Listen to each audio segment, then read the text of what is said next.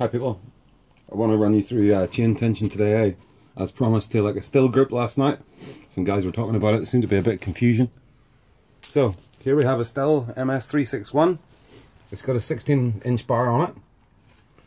Um, and that shouldn't really matter too much that you know how, how long the bar is because whenever you achieve correct chain tension, I'm going to show you how that works in a minute.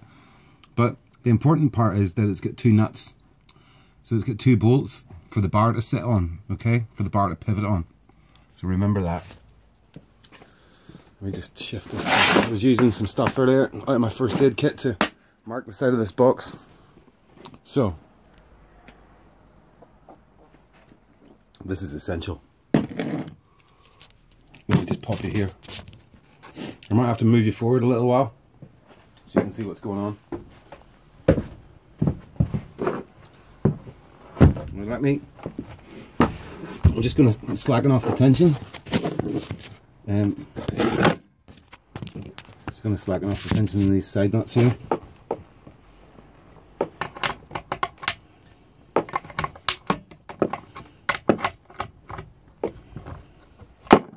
I'm going to take the chain tension off as well, okay? So you should see that drop in a wee second.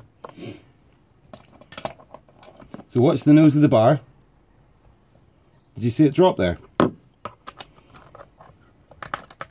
now we've got chain properly slack.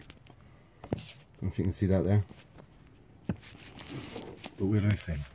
Give me a second, I'm just going to set the, the beer prop up so you can see properly. Yeah. So, all I'm going to do is go back to the, the chain adjuster and dial clockwise until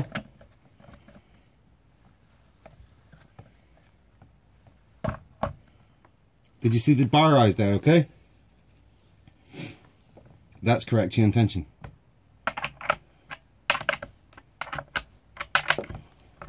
We just tighten up the side nuts.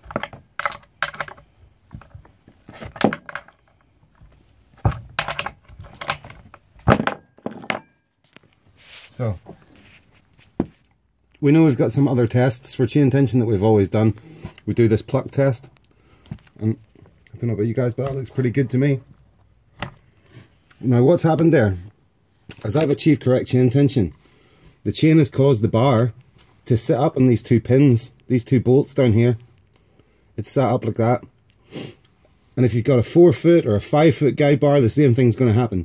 It's just that you'll notice that the chain feels like you can pull more of it away from the bar, but that's okay too.